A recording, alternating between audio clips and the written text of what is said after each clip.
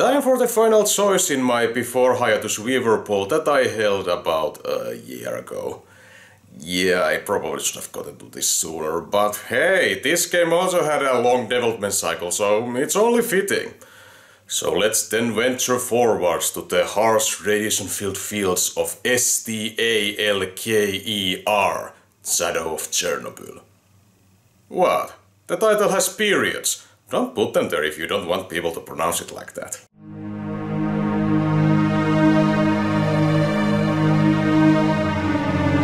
Released in 2007, this kind of sort of open world first person shooter is said to take its inspiration from 1972 novella Roadside Picnic by Arkady Boris Strugatsky and by proxy its 1979 Andrei Tarkovsky directed film adaptation Stalker. But there's some misconception of the game being a licensed work. I have seen the movie and basically what the game borrows from it is the atmosphere and one plot device and that's it. Ah, so that's why the dot's in the title, to make it legally distinct. For the creatives, and forgive me for looking them from notes, are the project leader Anton Bolshakov, who did the same for Cossacks franchise and the team's previous game Codename Outbreak, and then there are the lead designers Andrew Prokhorov and uh, Yuriy Negrobov, who have since then been involved with the Metro franchise. So let's then meet our main character who has amnesia! Yeah, that tired old trope that was everywhere at the time. Well, at least it's better implemented in here than in The Witcher. It is the futuristic past year of 2012 in the northern reaches of Ukraine, when the no-memory dude who will be from now on referenced as Mark 1 gets in a vehicle accident but is soon safe to the care of a local American slash job provider. The only hints to his past are the visible STA... Just kidding, just kidding. The visible stalker tattoo and a reminder in his PDA to kill someone called Strelok. Oh, I'm sorry. The Strelok. Thus he ventures to solve the mystery of his past, to the surrounding area of the infamous Chernobyl power plant, now named as the Zone, that has become even rougher thanks to the second explosion six years earlier. That one brought all kinds of unnatural phenomena with it like unexplained gravitational and elemental ruptures in reality and grossly mutated fauna and people, some of them being able to use psychic abilities. Not to mention these phenomena create ability enhancing artifacts that all sorts of interest groups want their hands on, including various lowlights, mercenaries and military. You standing there for a stalker? If you want to go through, come up and we'll have a chat. If not, I suggest you take off before we get angry. Yeah, you're going to hear this and similarly quaintly clumsy over-the-topness multiple times. In multiple languages. There are a few English spoken lines here and there by such talents as Yuri Lowenthal, Robin Atkin Downes and Neil Kaplan, just to name all Prince of Persia alumni, but all side character banter is untranslated from Ukrainian and Russian. Seems like the majority of the fanbase appreciate this for the added immersion, but uh, am I the only one who finds this distracting? Sure, they don't say any plot crucial uh, stuff, but uh, they have several uh, lore building uh, lines, so I'm not sure why the developers just didn't pick one language and stick with it. Not that it matters that much because uh, the voice acting in both is being silly, especially with death yells. You, you died 10 seconds ago, shut up! So the plot is pretty much a wild goose chase for Strelok for most of its runtime, and it tends to get structurally repetitive. I mean, you have to dig up two super secretive laboratories in a row for documents detailing shady pseudoscience experiments, not to mention all characters who give Mark 1 these assignments are barely distinct from one another. Yet in this game's case, loosely constructed story helps to serve its atmosphere. Its world is uniquely uninviting and hazily melancholic, so the atmosphere works best when the player is all by themselves, having only vague idea where to go to escape this hellhole where everyone tries to survive in their desperate search for riches or just any sort of purpose. Granted, the story doesn't go into Stalker the movie style, introspective, uh, high gear philosophical ponderings, but I can still vibe with the mood it's setting. The everyone trying to survive part wasn't exaggeration because the game has a revolutionary AI system where every human and monster have their own daily routines and visit other levels. But from my frog perspective, I was unable to tell how well it works in practice. Or maybe that's because I focus too much on the main story and not any side missions, that the game has a plenty. All missions are listed on Mark 1's personal digital assistant, that ironically was started to become obsolete technology when this game was released, that also keeps tracks of such things as encyclopedia entries detailing the game's lore and ranking system to determine who is the toughest dude in the neighborhood. How these points are counted though, I have no idea. The side objectives, at least the ones I took a look at, had their share of problems that went beyond repetition.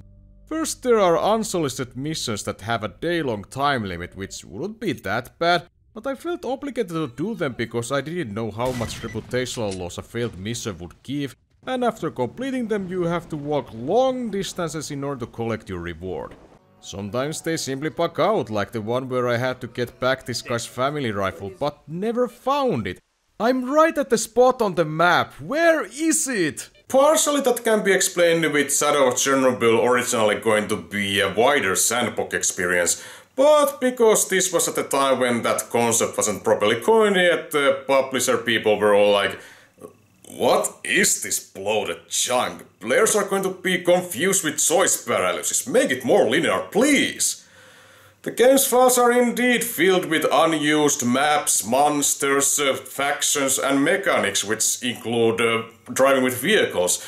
And because uh, this all had to be crossed in before release, it has left some oddities that just can't be handwaved that's life in the zone, I guess. Enemy AI also had to be lobotomized to not make things too soul-crushingly difficult, and it shows as several quirks like trying to shoot through solid walls which they sometimes succeeded at. Even in this state, the combat is fairly enjoyable. Pistols, hit machinery, grenades, and sometimes even your knife are used to provide intense confrontations where life is cheap with further tactility added by weapon wearing system, so be sure to have them in top-notch shape or otherwise your weapons may jam at the critical moment. The difficulty isn't overwhelming, but the further it goes, the tougher it gets, and I strongly advise to do several optional missions from local money men as well for resource gathering. Otherwise you end up like me and have to stop at the beginning of the last level due to the enemy's armor-piercing bullets ripping you to shreds. This playthrough attempt was by the way done at Stalker, or medium difficulty, a fact that probably made several hardcore Stalker connoisseurs recoil in disgust. When I first tried this game about two years ago, I was advised by a schoolmate of mine who is very into the community, familiar with Cheeki Breeki, Sugar Bloods, all that stuff, to play it on hard or veteran difficulty. This is because of a bug that uh, makes all enemies bullet sponges on easier difficulties, but on harder difficulties, uh, while they can one-shot you, you can do the same to them. Well, I had grown skeptical towards this claim by the time of this review, and turns out it's just an urban legend. What even more, I found out from the manual that the harder difficulties also decreases the amount of helpful items. Yeah, therefore playing it on uh, veteran or master difficulty is more of a proper etiquette. And I'm sorry Stalkerites, but I clearly look something different from my gaming experiences. I can understand this culture though, proving that you can uh, stand up against overwhelming obstacles in uh, harsh, brutal environments, uh, no matter who or what is trying to put you down. Hmm. So, Stalker, Shadow of Chernobyl, let's say I have respect for it. The game radiates classic Eurojank aesthetic and I suppose some find it charming, but for those who have preference towards good craftsmanship, its coding inconsistencies can be entertainment factor hindering instead. And they can be that even to the former when they break quests. Also, the story isn't particularly deep, even if the world building is rather stellar. However, the game's atmosphere, potentially adrenaline-inducing combat, and its complexity in resource managing do save a lot. And it's understandable why the zone resonates with players who want more challenge. For me, roaming through Slavic Fallout was often frustrating, but I can't say I wasn't enthralled by its rustic harmony. In the following two years, the original got two side games, independent expansions, I'm not sure what to call them, Clear Sky and Call of Pripyat being a prequel and sequel respectively, and uh, next year it should be have a numbered sequel, Heart of Chernobyl. Whenever I'm going to play them or not, hmm, tough to say. I mean, uh, maybe if they have more character focused uh, narratives, I mean, I like the mood, but I've heard Clear Sky has some infuriating mechanics and uh, more of this game's gameplay loop.